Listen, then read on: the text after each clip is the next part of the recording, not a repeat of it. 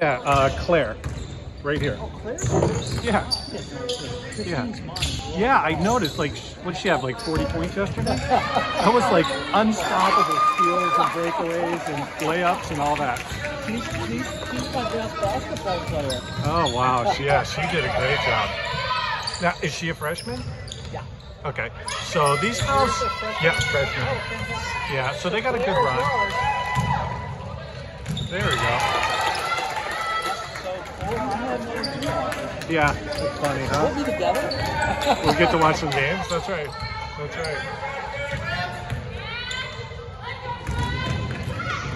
Nice move.